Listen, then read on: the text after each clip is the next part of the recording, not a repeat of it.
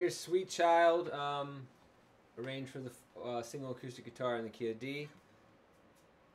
Picking pattern's the same, each chord's played exactly twice.